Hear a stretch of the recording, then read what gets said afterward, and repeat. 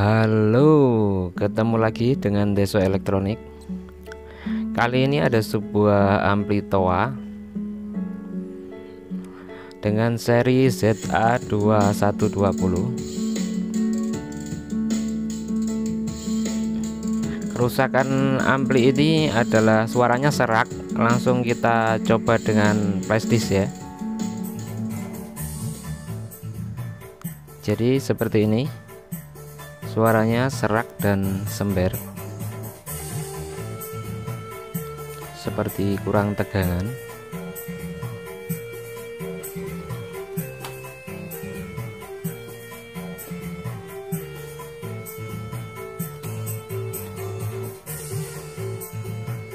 Coba saya pegang di heatsinknya yang bagian sini dingin. Yang sini sedikit hangat yang sini dingin. Jadi tidak seimbang ya.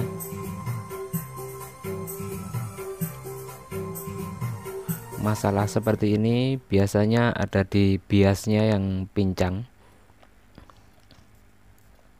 Oke langsung kita perbaiki. Kita lepas dulu mesinnya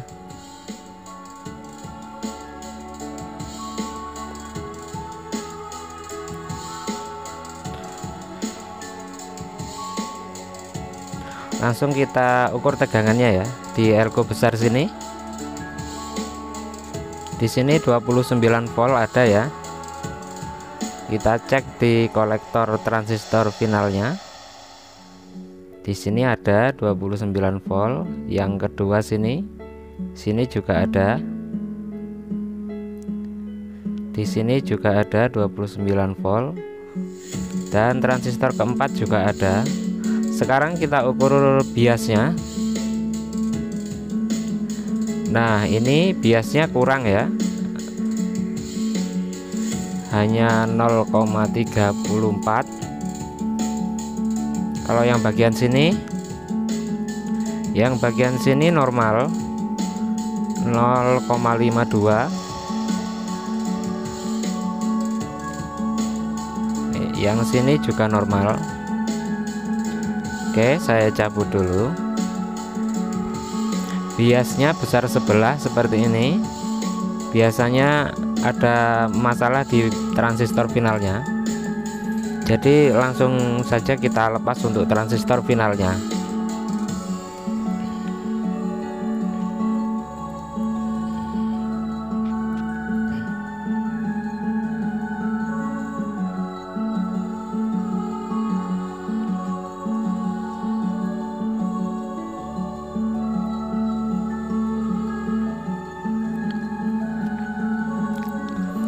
ini udah selesai kita lepas dan akan kita ukur satu persatu ya.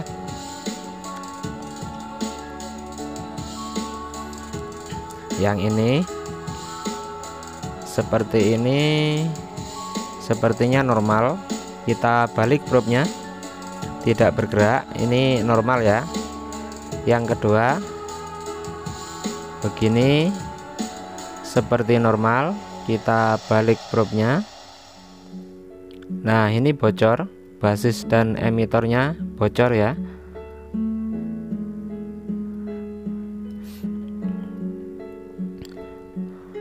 Kemudian berikutnya.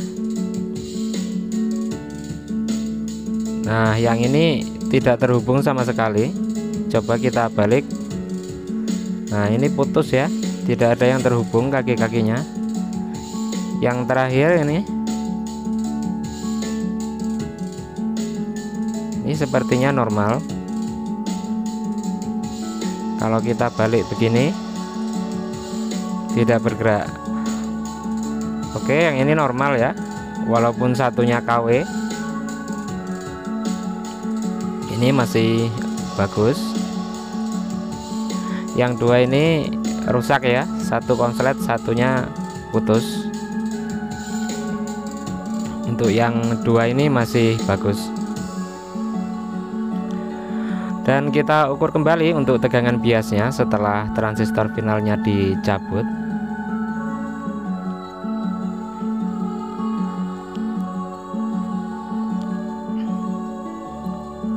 Coba yang sini yang drop tadi.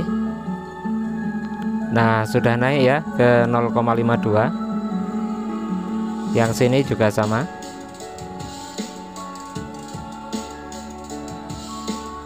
Yang sini 0,53 ini juga 0,53 ini sudah termasuk seimbang ya. Berarti tidak ada masalah di bagian fat drivernya.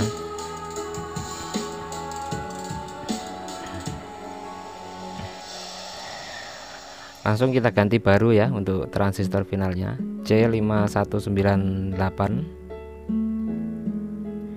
ini yang kualitasnya bagus.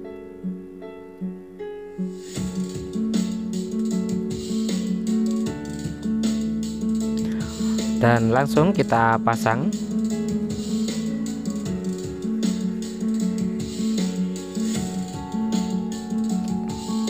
Untuk di amplitoa bias 0,52 itu sudah bagus ya. Yang penting di atas 0,50 itu sudah suaranya sudah tidak serak biasanya standarnya itu di 0,60 itu kalau transistor finalnya ori semua ya.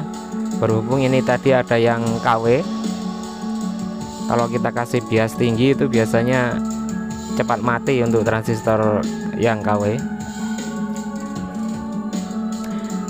Oke kita tes lagi setelah dipasang transistor finalnya. Sini 0,52 yang sini juga sama. Kemudian sebelah sini 0,51 ini juga 0,51 saya rasa sudah cukup seimbang ini. Suaranya sudah tidak akan serak lagi. Baik saya rapikan dulu mesinnya sebelum kita tes lagi suaranya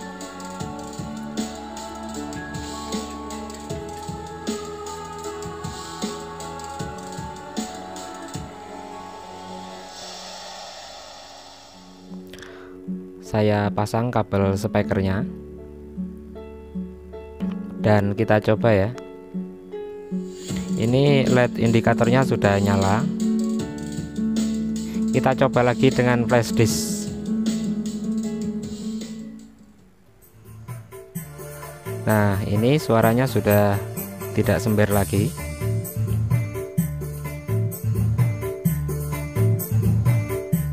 Sudah jernih coba saya pegang heatsinknya sini hangat. Sebelah sini juga sudah hangat.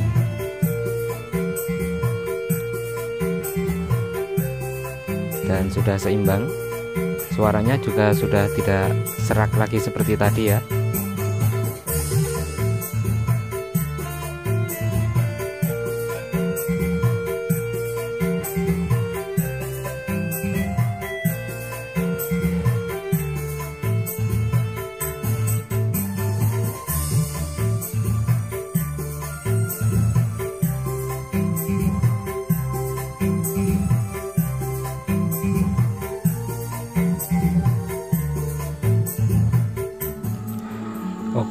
sudah mantap.